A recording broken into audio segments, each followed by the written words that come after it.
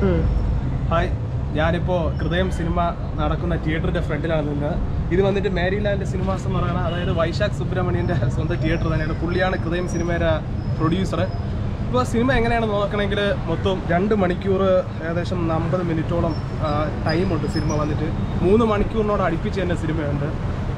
അരുൺ നീലകണ്ഠനായിട്ട് പറഞ്ഞ പ്രണവ് മോഹൻലാലാണ്. അരുൺ നീലകണ്ഠന്റെ പുള്ളിയുടെ college life മുതൽ കല്യാണം കഴിഞ്ഞ് വരെയുള്ള സംഭവങ്ങളും കാര്യങ്ങളൊക്കെയാണ് സിനിമയ്ക്കകത്ത് ഉൾപ്പെടുത്തിയിരിക്കുന്നത്.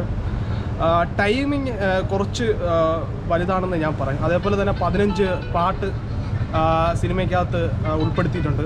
അപ്പോൾ ഈ പതിനഞ്ച് സോങ്സിന് അതിന്റേതായ സ്പേസ് കൊടുക്കേണ്ട ആവശ്യമുണ്ട്. അപ്പം നമ്മൾ ആലോചിക്കും ഇത്രയും സോങ്സ് ഉള്ളതുകൊണ്ട് കുറച്ച് ലാഗ് അടിക്കുമെന്ന് നമുക്ക് ഫീ തോന്നും മനസ്സിൽ. പക്ഷെ അല്ല സോങ്സ് ഒക്കെ വന്നിട്ട് ഷോർട്ട് ഷോർട്ട് കൊണ്ട് തന്നെ ഒരു മൂന്ന് മിനിറ്റോ രണ്ട് മിനിറ്റോ വളരെ സിനിമയോട് വളരെ ലയിച്ച ഉള്ള രീതിയിലാണ് കൊണ്ടുപോകുന്നത്. ഇനി ഫസ്റ്റ് ഹാഫ് വന്നിട്ട് സിനിമയിൽ മൊത്തം അരുൺ നീലകണ്ഠന്റെ നാല് വർഷത്തെ കോളേജ് ലൈഫാണ് കാണിക്കുന്നത്. കോളേജ് ലൈഫിനകത്ത് ഒരുപാട് സംഭവങ്ങൾ മിസ് ചെയ്യുന്നുണ്ട്. പ്രത്യേകിച്ച് അതിനകത്ത് പ്രണയം എന്നുള്ളൊരു സബ്ജക്റ്റ് മാത്രമാണ് കൂടുതൽ ഫോക്കസ് ചെയ്യുന്നത്. ശരിക്കും അരുൺ നീലകണ്ഠന്റെ ഈ കോളേജ് ലൈഫിൽ അതേപോലെ തന്നെ സെക്കൻഡ് പാർട്ടിലും വന്നിട്ട് കല്യാണി പ്രിയദർശൻ വരുമ്പോഴും ഈ കോളേജ് ലൈഫ് എന്നുള്ള ഒരു സബ്ജക്റ്റ് മാത്രമാണ് കൂടുതലായിട്ട് ഫോക്കസ് ചെയ്യുന്നത്. വേറെ സംഭവങ്ങളിലോട്ടൊന്നും പോകുന്നില്ല. പിന്നെ വന്നിട്ട് ഫസ്റ്റ് ഹാഫ് നമുക്ക് കുറച്ച് എൻഗേജഡ് ആയിട്ടിരുന്ന് കാണാൻ പറ്റുന്നുണ്ട്. ഫസ്റ്റ് ഹാഫ് തീരുന്നതിനൊരു പതിനഞ്ച് മിനിറ്റ് സെൽവ എന്ന് പറഞ്ഞിട്ട് ഒരു ക്യാരക്ടറെ കാണിക്കുന്നുണ്ട്. ആ ക്യാരക്ടർ ഭയങ്കരമായിട്ട് നമ്മളെ ഹാർട്ട്ലി നമ്മളെ ഒരുപാട് ടച്ച് ചെയ്തു പോകുന്ന ഒരു ക്യാരക്ടറാണ് നമുക്ക് മറക്കാൻ പറ്റില്ല ആ സിനിമയിൽ കാരണം നമ്മളൊന്ന് സെക്കൻഡ് ഹാഫ് ഫസ്റ്റ് ഹാഫിൽ ഒന്ന് റീഫ്രഷ് ചെയ്യുന്ന ഒരു സംഭവമാണ് പുള്ളിയുടെ ആ ഒരു സെൽവ എന്നുള്ള ഒരു ക്യാരക്ടർ വരുന്നത്. ഇനി സെക്കൻഡ് ഹാഫിലോട്ട് പോവുകയാണെങ്കിൽ പടം കല്യാണി പ്രിയദർശന്റെയൊക്കെ ഇൻട്രൊഡക്ഷനും കാര്യങ്ങളൊക്കെയാണ് അജു വർഗീസും കാര്യങ്ങളൊക്കെയാണ്.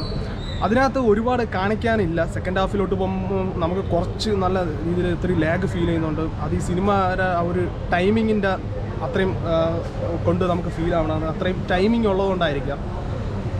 പിന്നെ വന്നിട്ട് രഞ്ജൻ എബ്രഹാം പുള്ളിയുടെ സീനിയർ എഡിറ്ററാണ് അദ്ദേഹം. അദ്ദേഹത്തിന്റെ എഡിറ്റിംഗ് കുറച്ച് മികവ് ഇതിനകത്ത് കാണിക്കാൻ കാണിക്കുന്നുണ്ട്. ഞാൻ പറഞ്ഞില്ല നേരത്തെ സിൽവ എന്നുള്ള ക്യാരക്ടർ ആ ഒരു പോസ്റ്ററിലൊക്കെ വരുമ്പോൾ ആ എഡിറ്റിങ്ങിന്റെ ഒരു ബ്യൂട്ടി നമുക്ക് കാണാൻ പറ്റുന്നുണ്ട്. സിനിമയിലെ ക്ലൈമാക്സിൽ എഡിറ്റിങ്ങിന്റെ കുറച്ച് ബ്യൂട്ടി കാണാനൊന്നുണ്ട്. ആ എഡിറ്റിംഗ് ആ ഒരു ആ ഒരു ഒരു പൊസിഷൻ അത് അടിപൊളിയാണ് ഒരു രക്ഷയില്ല. പിന്നെ വന്നിട്ടുള്ള മ്യൂസിക്കാണ് എനിക്ക് പേഴ്സണലി ഒരു മൂന്നാൽ സോങ് അതിനകത്ത് ഇഷ്ടപ്പെട്ടിട്ടുണ്ട്. പിന്നെ അത്രയും സോങ്സ് പതിനഞ്ച് പാട്ട് അതിനകത്ത് ആഡ് ചെയ്തിട്ടുണ്ട്. കാരണം അത് സിനിമയായിട്ട് ലയിച്ച് പോകുന്നത് കൊണ്ട് നമുക്ക് ഒരിടത്തും ലാഗ് ഫീൽ ചെയ്യില്ല പക്ഷെ ആ സോങ്സ് ഒക്കെ ഒന്ന് കുറയ്ക്കാൻ കഴിഞ്ഞിരുന്നെങ്കിൽ സിനിമയുടെ ലെങ്ത് മൊത്തത്തിലൊന്ന് നമുക്ക് കുറയ്ക്കാൻ കഴിയുമായിരുന്നു. വിനീത് ശ്രീനിവാസന്റെ ഇതുവരെ ഇറങ്ങിയതിൽ പെർഫെക്റ്റ് മൂവി എന്നൊന്നും ഞാൻ അവകാശപ്പെടില്ല പക്ഷേ എന്നാൽ ആ പുള്ളിയുടെ ആ ഒരു ഡയറക്ഷൻ ആദ്യം മുതൽ അവസാനം വരെ അയാളുടെ ഒരു സിഗ്നേച്ചർ നമുക്ക് സിനിമയിൽ കാണാൻ പറ്റുന്നുണ്ട്. അത്രയും പെർഫെക്റ്റ് ആയിട്ടുള്ള ഒരു ഡയറക്ഷൻ നമുക്ക് സിനിമയിൽ കാണാൻ പറ്റുന്നുണ്ട്. പുള്ളിയല്ല വേറൊരാളാണ് ഈ ഒരു സ്റ്റോറിയും കൊണ്ട് ചെയ്തിരുന്നെങ്കിൽ വെറും അറു ബോറനായി മാറിയാണ് അദ്ദേഹത്തിന്റെ ആ ഒരു സിഗ്നേച്ചർ സ്റ്റൈൽ ആ പടത്തിന്റെ ആദ്യം മുതൽ അവസാനം വരെ കാണാനുണ്ട്.